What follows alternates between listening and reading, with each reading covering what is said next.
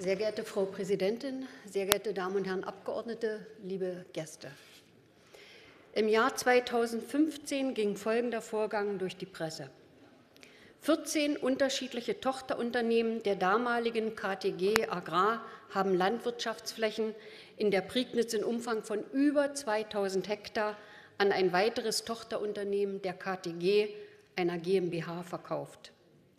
Die inzwischen insolvente KTG war ein überregionales, agierendes Landwirtschaftsunternehmen mit großem Flächenbesitz und berüchtigt dafür, die gekauften Flächen ohne Bezug zur Region mit geringstmöglichem Personaleinsatz zu bewirtschaften. Der Verkauf war genehmigungspflichtig nach dem Grundstücksverkehrsgesetz.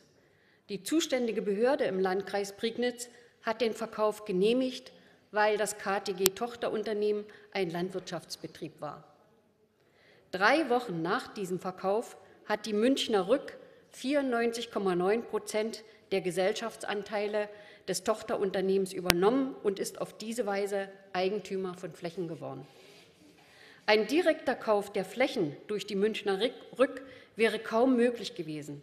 Er wäre nach dem Grundstücksverkehrsgesetz wahrscheinlich nicht genehmigt worden, weil der Käufer kein Landwirtschaftsbetrieb ist.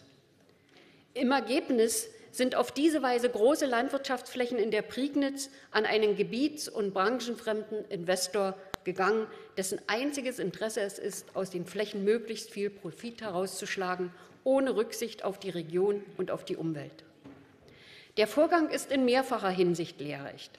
Zunächst muss man fragen, warum hat der Landkreis den ersten Verkauf, den von den 14 KTG-Töchtern, auf die eine GmbH genehmigt? Nach dem geltenden Recht hätte er durchaus die Möglichkeit gehabt, hier zunächst einmal den Bedarf ortsansässiger Landwirtschaftsbetriebe zu prüfen.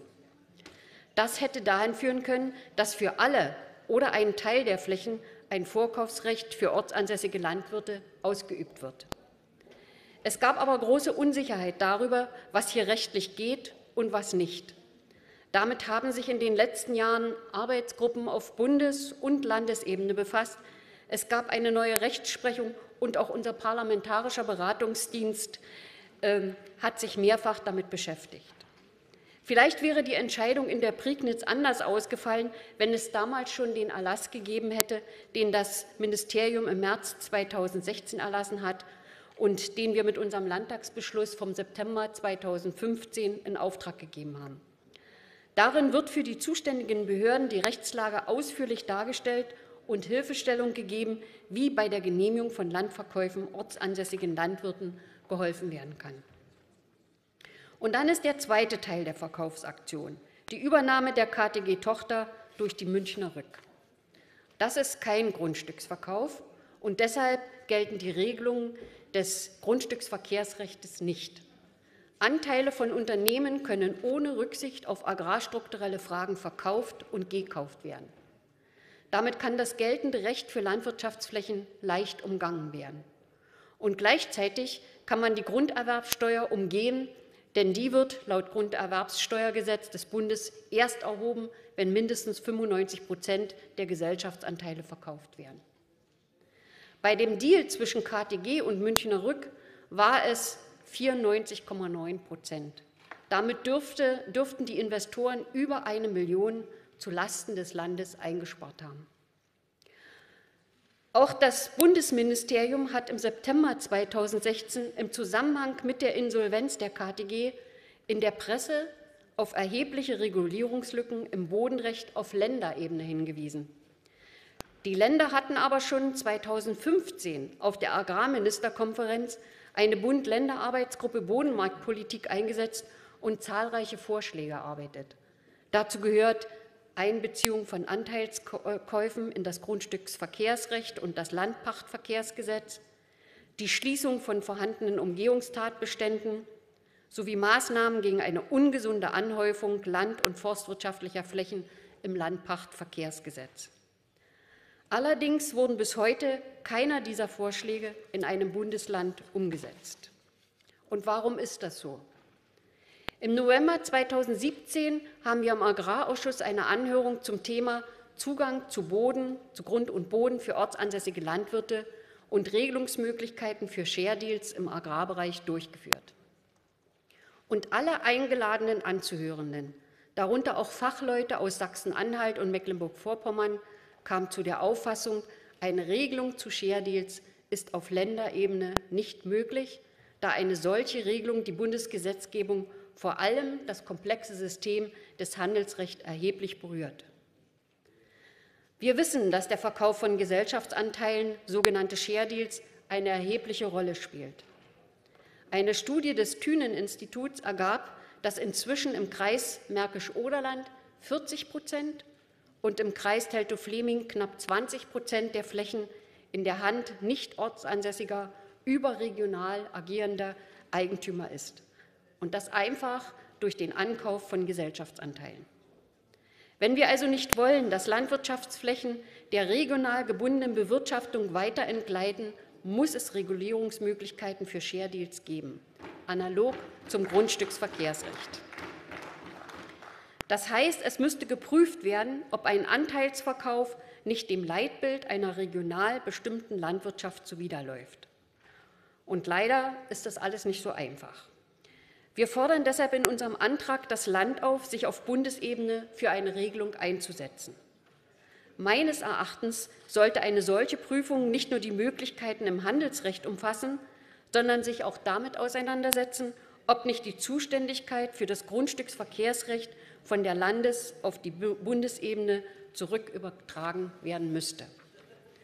Dazu wäre eine Grundgesetzänderung erforderlich. Denn diejenigen Länder, die sich bisher an Gesetzentwürfen zu Share Deals auf Landesebene gewagt haben, wie Sachsen-Anhalt und Niedersachsen, sind damit gescheitert. Auch Mecklenburg-Vorpommern ist noch nicht weitergekommen. Und es ist auch, glaube ich, nicht sinnvoll, mit zersplittertem Landesrecht international agierenden Konzernen gegenübertreten zu wollen. Es muss bundeseinheitliche Regelungen her, muss eine bundeseinheitliche Regelung her. Die Übertragung der Zuständigkeit von Bund auf die Länder im Rahmen der Funktionalreform 2006 hat sich in dieser Frage nicht bewährt. Und wenn man das erkennt, sollte man es auch rückgängig machen können. Was man recht leicht machen kann, ist die Umgehung der Grunderwerbsteuer durch Share Deals auszuschalten. Dazu müsste der Bund das Grunderwerbsteuergesetz ändern. Der, die Finanzministerkonferenz arbeitet daran, und da wollen wir auch klare Positionen beziehen. Wir sehen diesen Antrag als einen weiteren Schritt, um der Bodenspekulation Einhalt zu gebieten. Wir sind gegen fremde Investoren, nicht aus Fremdenfeindlichkeit, sondern es geht um die Art und Weise der Bewirtschaftung. Vor Ort ansässige und langfristig wirtschaftende Bäuerinnen und Bauern, Landwirtinnen und Landwirte nehmen ganz besonders Rücksicht auf die Belange ihrer Nachbarn, auf die Bodenfruchtbarkeit, auf ihre Arbeitskräfte und auf die Umwelt, als dies Bewirtschafter tun, die nur einige Male im Jahr Dienstleistungsunternehmen auf die Fläche schicken. Und wir wollen natürlich auch, dass Wertschöpfung in der Region verbleibt. Deshalb bitte ich um Zustimmung zu unserem Antrag. Ich habe noch ein paar Bemerkungen zum Entschließungsantrag der CDU. Eine Diskussion über ein Leitbild für die brandenburgische Landwirtschaft, das finde ich richtig und ich finde es auch notwendig und ich begrüße auch so eine, äh, solche Diskussion. Aus Sachsen-Anhalt kam dieser Tage die Meldung, dass der Leitbildprozess Landwirtschaft 2030 abgeschlossen wurde. Es war wohl kein einfacher Prozess, denn die Landwirtschaftsministerin Professor Claudia Dalbert stellte die endgültige Fassung vor und betonte, dass die darin formulierten 38 Ziele die Handschrift des Kompromisses trügen. Nach ihrer Überzeugung kann das Leitbild aber ein sehr guter Anstoß für eine öffentliche Debatte über die Zukunft der Agrarwirtschaft im Land sein. Ich glaube, wir brauchen uns auch nicht vormachen. Eine solche Diskussion wäre in Brandenburg auch kein einfacher Prozess. Die Linke in Brandenburg hat gerade auf ihrem letzten Parteitag einen solchen Leitbildprozess befürwortet. In der Koalition konnten wir uns leider dazu bisher noch nicht verständigen. Allerdings, und das muss, auch muss mir auch feststellen, wenn wir im Bodenrecht nur mit bundeseinheitlichen Regelungen weiterkommen, dann stellt sich die Frage, ob wir ein Leitbild zur Agrarpolitik in Deutschland brauchen, in der das brandenburgische Agrarleitbild aufgehen muss.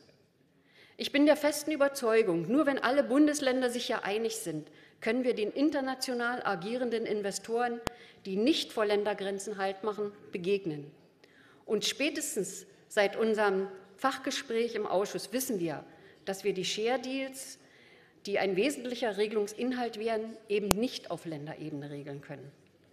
Zu dem Punkt Grunderwerbsteuer, diesen Punkt möchten wir nicht antasten. Herzlichen Dank.